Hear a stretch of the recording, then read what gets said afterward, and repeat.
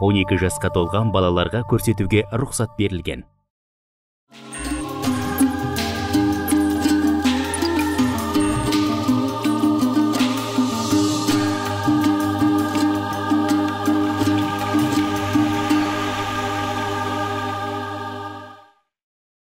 Ассалаумағалейкум эфирде сүбелі сөз бағдарламасы сіздермен бірге мұхтар ниязов. Дүниедегі шешілуі қиын үлкен жұмбақтың бірі адамның өзі. Адам өзін өзін тану арқылы айналасын өзін жаратқан жаратушысын таниды. Осы сан қатпарлы адам жанына үңілудегі әдебиеттің рөлі қандай? Жазушы дүниеге көкірек көзімен қарайды дейді. Қазіргі қаламгерлеріміз өз заманының кейіпкерлерін таба алды ма? Қазақ драматургиясы неге кенже дамып келе жатыр? Тәуелсіздікпен бірге келген бұл жанрдағы қандай жаңалықтарды білеміз? Біз осы және басқа да сұрақтарды бүгінгі бағдарламамыздың барысында бірге талқылайтын боламыз. Сонымен таныс болыңыздар студиямыздың қонағы белгілі жазушы драматург роза мұханова. Роза апай студиямызға қош келдіңіз. Рахмет. Сіз енді жазушы болғаннан кейін оқытушылығыңыз да бар енді негізгі күнделікті кәсібіңізді білеміз. Бірақ роза мұханованы біз жазушы деп білеміз драматург деп білеміз. Сондықтан қазір не жазып жүрсіз апай? Жалпы негізгі классикалық шығармалардың тән қасиет бұлар өз дәуіріндегі кейіпкерлерді береді деген бір түсінік бар. Енді тарихи шығарма бар бізде әртүрлі салаға жанрға бөлініп жатады бірақ негізгі осы беретіні.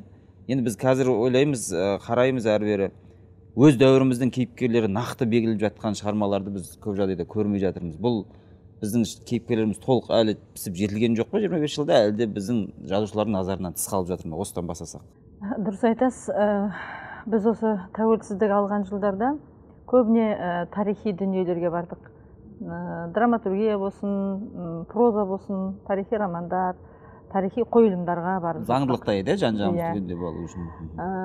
Мүмкін ә, белгілі бір мөлшерде ә, бүгінгі көрерменді бүгінгі оқырманды ә, қазіргі қоғамдық мәселелер қазіргі заманның қаһармандары қазіргі кейіпкерлер қызықтыратын шығар. Ол да заңды. Ә, мен ә, былтыр ә, қуанышбаев атындағы қалибек қуанышбаев театрында ә, сара деген қойылым болды. Иә иә. Мұнан кейін көктемде бір дүние жазып бітірдім ол ешкімде кінәлі емес деген. Ә, бұндағы біздің қазіргі қоғамдағы қарттардың жағдайы. Қарт болудың өзі бір биологиялық ерекшелігі ғой адамзаттың. Иә иә. Ә, қарттың балаға айналуы м, о баста сәби болып ә, тап таза болып одан кейін адамдыққа кемелділікке қол жеткізіп даналыққа қол жеткізіп содан кейін балалық дәрежеге қайта түсу адамның. Маған маған бір қызықты болды осы. Ә, адамның ә, өзгеру процесі. Бұнда әрине психология бар. Ә, осы тұрғыдан алып ә, өзіме бір әсер еткен дүниелерді бір жағынан бір жағынан ә, күлкі, күлкі ұялатады езуіңе. Ә, бір жағынан ә, көңіліңді босатады. Осы тақырыпқа барғым келіп ә, осы дүниені жаздым. Ә, ешкімде кінәлі емес деген ә, абсурд драма деп. Сондай жаңалығым бар. Ойлаймын бүгінгі көрерменге одан кейін жалпы қарттықтың ә, қарттықты ә, жастық түсіне алмайды. Көп арпалыс болады ә, қайшылықтар болады көзқараста қайшылықтар болады. Бірақ сол жастың да ертең дәл осы нүктеге келетін. Оның да тура осылай ә, осындай өмірдің оны күтіп тұрғанын айтқым келді жастарға. М, қарттыққа деген ә, қарт адамға үлкен адамға ә, философиялық көзқараспен қарау керектігі қамқорлықтың қа- ә, қажеттігі оларға. Ә, олар кінәлі емес қарттыққа келгеніне. Өйткені ертең біз де сіз де тура сол қарттыққа біз де келеміз. Ешкім осыны айтқым емес, иә. ешкім де кінәлі емес. Осыны айтқым келді. Бүгінгі жастарға бүгінгі қоғамға бір селт еткізер дүние болса деген арманым бар енді. Роза апай жалпы енді сіз роза мұханова деген есімді естіген кезде біздің көз алдымызға мәңгілік бала бейнесі деген шығармаңыз өзінен өзі ә, келеді. Өйткені бүкіл қазақ қоғамына жаңа өзіңіз айтқандай біз серпілт серпіліс тудырамын деген кезде бұл осы шығарма өз өзін толық ақтап хал- халық бір ауыздан жылы қабылдады. Кейін бұған кино да түсті. Бұл енді біздің қасіретті кезеңіміз суреттейтін бір керемет шығарма дәл осы сияқты. Қазір біздің ә, басқа да полигон зардабын жаздыңыз ғой осы сияқты ә, байқаусыз жатқан қасіретті тұстарымызды күтіп жатқан шығармалар бар ма? Әлде жазылмай жатыр ма? Қандай тақырыптар бізді келесі сізді өзекті? Тағы бір қандай бір ә, тақырыптарды көздеп жүрсіз алдағы уақытта? Ә, менің сахнаға қойылмай жатқан туындыларым бар. Ә, кезінде жаңағы гран при алды үлкен жаңағы ә, шетелдік сыйлықтарды алды. Мысықтар патшалығы иә мысықтар патшалығы. Ә, мысықтар патшалығының жазылғанына он жылдан асып кетті. Енді жас режиссерлардың ұсынысы бар. Ә, осыны біз қойсақ деп бір кезде мюзикл қылып қойғысы келген жігіттер болды. Ә, енді жазылған дүние ол бар дүние мен ойлаймын жерде қалмас ә, болар деп. Ә, негізгі арманым менің бір он жылдай менің ә, кеудеме жүрегіме ұя салған бір тақырып бар. Ә, ол біздің мынау тәуелсіздік алған кезеңімізді. Осы дәуірді керемет иә жазғым келеді иә.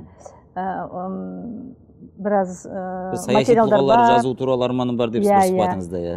Ә, сол арманым бар енді алла бұйырса алла амандығын берсе осы шығарманы жазып жүріп ә, шығарманың салма әлгі белге түсетін салмағы ауырлау болған кезде жаңағы ешкімді кінәламас сияқты шығармалар тез жаза салу оңайырақ болады сондықтан ә, бұл да алла қаласа сол жылдың аяғына дейін бітіп қалар деген бір бұл ойым бар. тақырыпқа қайдан келдіңіз? Бұл көп жағдайда біз саясаткерлердің бер жағын мысалы жеңіл жағынан білеміз да олардың ішінде болып жатқан кейбір арпалысты дүниелерді халық жаппай халық біле бермейді. Меніңше сіз сол психологиялық жағына үңілгіңіз келіп отыр. Иә. бұл өзіңіз сол қызметте жүргенде ой келді ма жалпы қандай ой қайдан келдіңіз бұл ойға? Ә, бұл биліктің құпиясы патшалықтың құпиясы сосын адам адамның ә, ішкі трагедиясы.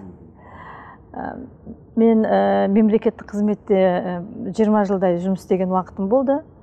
Ә, сол кезде біраз дүниелер оқуға тура келді. Маған қатты әсер еткен ә, қасым жомарт тоқаевтың ә, дипломатиялық очерктер. Мен бұрын соңды саяси кітаптарға ә, қызықпайтынмын. Көбіне енді көркемдік көркем дүниелерді оқисың. Ә, мені оятқан ә, осы дипломатиялық жұмыстың өз құпиясы өз шежіресі болатындығы. Осы кітап маған ой салды. Ә, ол кісінің ә, қасым жомарт кемелұлының беласу деген дипломатиялық очерктерін оқыдым. Ә, содан кейін ә, нұр мен көлеңке деген ә, дипломатиялық иә очерктер. иә ос- осындағы мына өзге елдердің біздің елге көзқарасы біздің ұлтқа көзқарасы жалпы біздің мемлекет құрған кезіміздегі бізді ә, аса менсіне қоймағандығы да біздің халқымыздың аздығы да біздің экономикалық ерекшеліктеріміз де осының барлығы керемет айтылады. Және мен ойлаймын бұл бұндай кітаптарды тек қана жазушылар емес жалпы қазақстан халқы қазақ баласы білу керек. Бізде ә, алда қандай үлкен проблемалар тұр қандай асулардан өттік. Бұны кез келген қазақ баласы білуге тиісті болып көрінді сол кезде. Бұл кітапқа қызыққаным соншалық ә, болашақта бір дүние жазатын болсам осы кітап маған бір мұрындық болды ау деп ойлаймын өзім. Кез келген озық шығарманы халыққа жариялау үшін ол бір жарысқа таласқа бір қазақ өзі ат жарыстырып қалған халық екі жүйрік Бәйгеге. екеуін иә екеуін де жүйрік деп қоя салмаймыз. Осы екеуінің қайсысы жүйрік екен деп тұратын халықпыз ғой. Осы шығармалардың жалпы бәйгесі бұл бізде емес жалпы әлемде біз ретімен жүйесі қалыптасқан.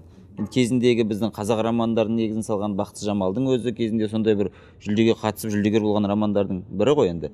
Енді біз қазір ә, мына тәуелсіздік жылдарында әдебиетті поэзияны прозаны дамытуға мына рухани жаңғырудың аясында үлкен жұмыстар атқарылып жатыр. Бірақ бір түсініксіз нәрсе біздегі әдеби байқаулар мен осы жарыстардың бір негізге түспеуі. Бұған қатысатын адамдардың бір тұрақты түрде оның бір тәртіптері шарттары әртүрлі болып кетіп жатады.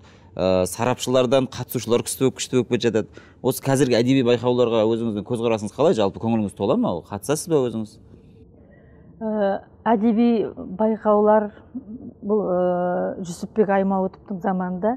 Ә, жүсекең ә, мынау жазатындарды тарту үшін өзінің қалтасынан қаражат шығарып осындай бәйге ұйымдастырып отырған негізінде қалыптасқан иә сол Иә, кезде иә. сол кезде. Өйткені жаңағы журналдарға авторлар тарту керек. Ә, сол кездегі жаңағы ә, газет жур- ә, сол кездегі журналда өзі басшылық ете отырып ә, халық аса ә, құмар болмағаннан кейін осы салаға ә, бәйге жариялап отырыпты өзінің қаражатының бұл енді бар келе жатқан әдіс қой.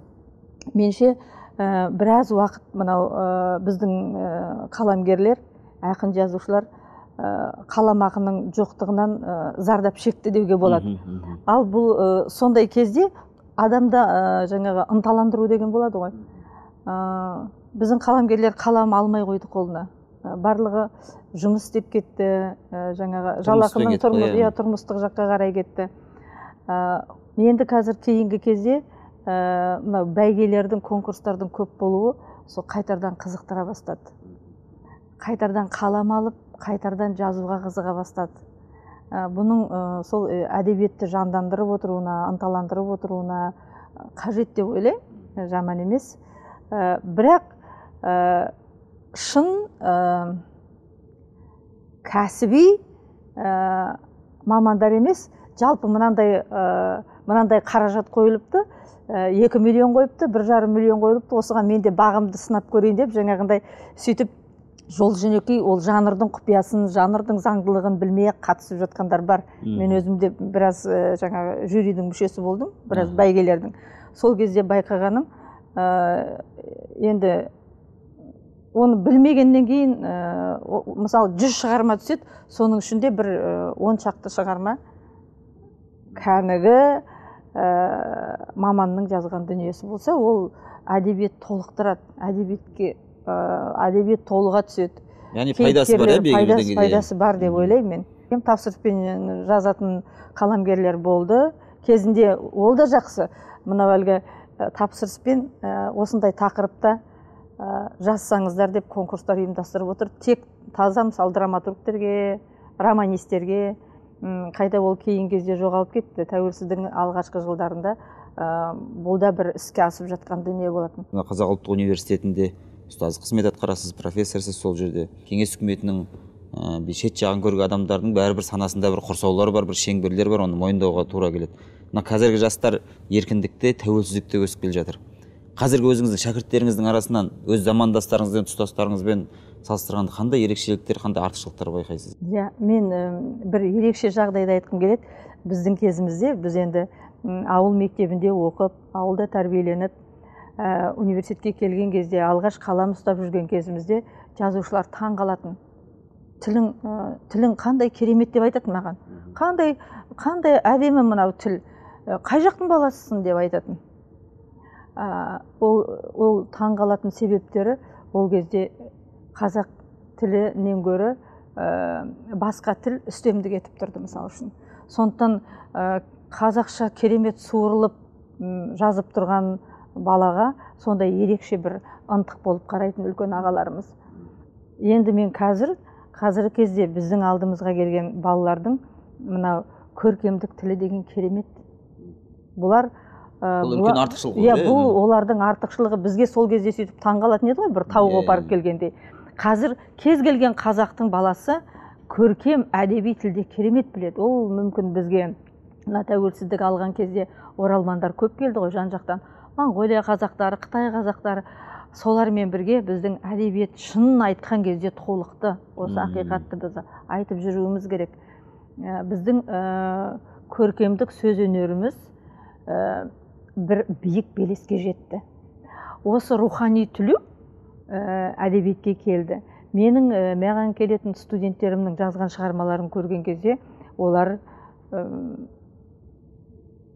тілді пайдалану содан кейін мына көнеріп кеткен ұмытыла бастаған сөздерді қолдануда ә, ерекше үлкен бір буын бар деп ойлаймын. Бұл қазақ поэзиясында да прозада да драматургияда. Мен осыған қуанамын яғни қазіргі қазақ тілі құрдымға кетіп бара жатыр деген сөзбен толықтай келіспейсіз ғой иә, енді қағаз бен қаламды от қазанды қатар қойған кезде сол қазанды көбірек көтеріп әкім ағамыздың шаңырағына ә, сол кісінің қонақтарын күтемін деп жалпы қазақ әйелінің қызметін атқарамын деп кейде қағаз қаламыңыз кейіндеу қалып шығармашылық бір тоқырауға тоқырау демей ақ қояйық шығармашылық бір кейін ысырған кездеріңіз болды. Ә, қазір ә, ең үлкен нәрсе айтайын дегенім ойымның бұл отбасы құндылығы. Денеміз әрбір мынау ә, жасушалардан тұрған сияқты отанымыз енді отбасылардан басталады ғой. Қазір қазақ қыздарының бойында бір жеңілтек сезім мен жауапсыз бір ертеңге деген жауапсыздық жігіттердің бойында да сондай бір салғырттық бар сияқты. Егер сізге бүкіл осы қазір қыздарды бір аудиторияға жинайтын мүмкіндік болса олардың көзіне қарап тұрып қандай сөз айтқан болар едіңіз? Ә, кеше жастармен әлгі жүз жаңа есім деген ә, Иә, форматта кездесті ғой елбасымыз. Сонда маған қатты ұнағаны ә, жар таңдауда ә, жар таңдаған адамың екеуіңнің мақсатың бір болу керек деді президент. Ә, маған сондай ұнады осы сөз. Шындығында ә, көздеген мақсатқа екі адам біріккен кезде ғана ә, сол ә, шыңның басына шыға алады. Ал енді қазіргі жастарға жаңағындай сіз айтқандай бір аудиторияға кіріп тек сол жерде қыздар отырған болса солардың ішінде шашын жайып жіберіп отырған қыз болатын болса ең бірінші ә, мен сондай өзіміздің жас жеткіншек әдемі қыздарымызды көрген кезде ең бірінші айтатын сөзім жарығым шашыңды жина. Ә, андағы шашың өзің шашың бір жері жұлынып кетсе өзіңнің жаның ауырады тәніңе батады. Екіншіден сенің шашың біреудің иығына жабысып тұрса ол адамда ә, ыңғайсызданады. Сондықтан жиналып жүр деп айтқан болар едім. Жалпы қазіргі қазақ қыздары әм, біздің қыздарымыз қазақ қыздары ақылды ғой. Бірақ әрине үлкен болғаннан кейін көрген жерде жаныңа шақырып ә, шашынан сипап иығынан құшақтап отырып былай қылу керек десе соған қарсы ә, кері әсері болмайды біздің қазақ қыздарының. Әлемнің біраз жерінде болдыңыз ә, шығармаларын оқыдыңыз. Мына қазақ әйелінің басқа халықтардан қандай артықшылығы бар қандай бақыты бар деп ойлайсыз? Қазақ әйелінің бақыты біздің азаматтарымыз м, біздің даналарымыз қазақ қыздарын сыйлаған ғой. Төріне отырғызған біз өзге жұрт сияқты жаңағы ә, қызымызды босағаға отырғызып қоятын ә, қызымызға ә, қызымызды жазалайтын елдерден емеспіз. Біз қызымызды төбемізге көтергізіп біз бұл қыз бала біз бұл қонақ үйде бұл ертең кетеді ертең басқа әулеттің адамы болады деп қонақ қып күткен елдің ұрпағымыз біздер. Сондықтан ә, қазақтың қызы өмір бақи ақылды қазақтың қызы біздің қыздарымыз ер азаматын сыйлап өткен. Соларға қызмет еткен ұрпаққа қызмет еткен ә, маған бір сауал қойған кезде ә, мынау жаңағы өзің айтқан сияқты ә, шығармашылығыңыз екінші орынға қарай кетті ғой деген кезде мен айтқан едім. «А, отбасым отбасым менің әйел адам үшін қазақ әйелі үшін мен үшін отбасы бірінші кезекте.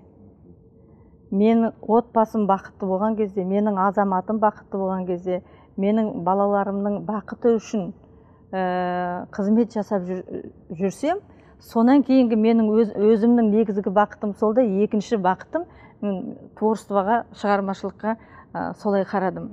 Ә, бірақ ә, бір кенже қалдым менің негізгі уақытым өтіп кетті ау әттеген ай деген болған жоқ. Сол маған қамыт болатын болса сол қамытты мен алтын алқа сияқты қуанып тағып жүрдім. Ә, сол шығармашылыққа байланысты отбасына байланысты осылай айтамын менің отбасым ол менің алтын алқам ғой. Роза апай бізге арнайы келгеніңіз үшін үлкен алғыс айтамыз. Сізге шығармашылық табыс деніңізге саулық тілейміз. Рахмет сізге. Біздің бүгінгі бағдарламамыз осы жерден тәмам. Ел мен жұрт аман ойымыз орамды сөзіміз сүбелі болсын.